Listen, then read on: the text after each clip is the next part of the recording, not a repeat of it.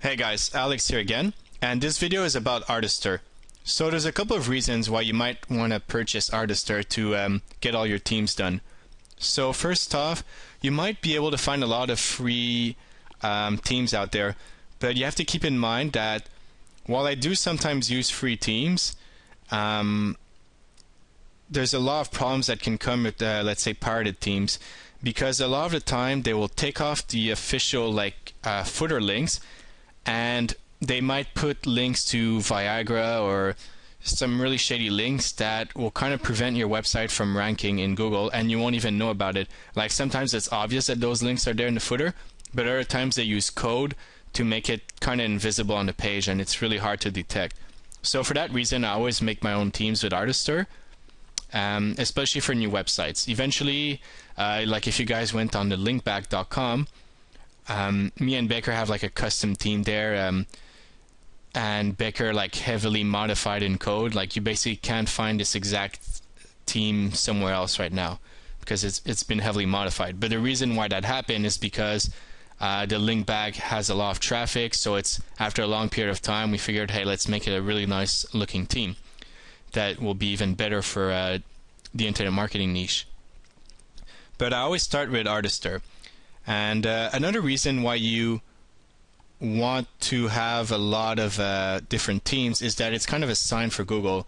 If you're all your websites, let's say you have 20 websites, they all have the exact same team, then it's kind of a sign that you're probably not caring too much about those websites. You don't even bother to have like a different team or make it appealing for the niche it's in.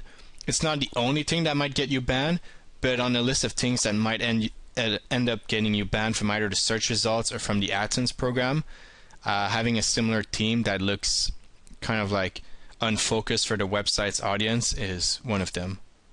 So to start off with, this is um, the default theme that when I started uh, Artisteer I got, and I clicked on the WordPress theme, and it's pretty good right off the bat. Uh, a few couple things are um, to notice are I like kind of like the standard website look. So I have a white background, my text in black, and my links in blue. Um, there's a few things you can change here. So like the layout, you could kind of inverse it. You could put the menu on top or the headline under. I like better the menu right under, so I'll keep it at that. For the header here, you could go here, add a change the background image. You can also add your own image from, from uh, by using from file. In photo you could put a picture or you could put your picture.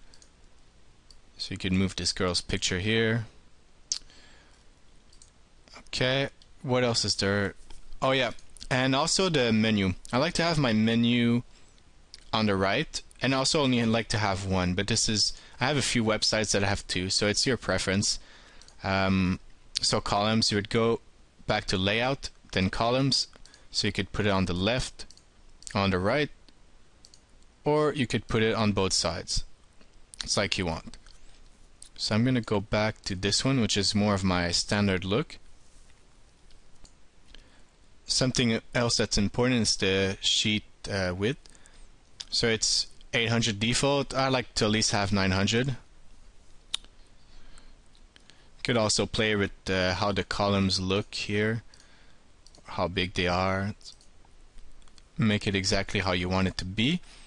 Another important thing is content. So in content, um, here you can customize how your headings look.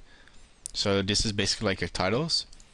They're fine as a default, but um, for text, this is where you would want to change it to black if it's not already. And hyperlink is where you could change it to basically have the exact same color that you would use for um, your AdSense code if you're going to monetize with AdSense. If you're not going to monetize with AdSense, then you can kind of change this. So I would just change the link one. So I would go to color, more options, and then in the hex I would change it to this one. So zero zero zero four zeros eight zero. So you can see the new one, which is a more dark blue one, which is more of the standard link color and it's the one I want to use for my AdSense links too. This is something you want to test, it, or if you want to try another color for your website, feel free to. just something to keep in mind. Whatever you choose as your hyperlink color here, you want it to match the hyperlink color for your AdSense ads. If you are once again using AdSense, you can so you can put an image here, or you can probably remove it if you want. Or actually, if you don't even have an image, it won't even show. It's just an example of how it would look in a in an article. Can change the headlines if you want to put an icon next to your posts at the top so looking uh, at this, um, I mean, it's pretty complete. Um, that's why I like Artisteer. Really, I would just change maybe a few colors between websites, but this would be like the default kind of website idea. I would probably just change between websites or change maybe the header, maybe a bit this background color, and that would be it. Sometimes I like to try something a bit more radically different. So maybe my links are green, um, dark green and my AdSense ads would also have dark green links. So this is really customizable to your niche and what you personally prefer to uh, work on because I mean this website you're probably going to look at it a lot so you want to make sure it's appealing to yourself so it's also appealing to your visitors.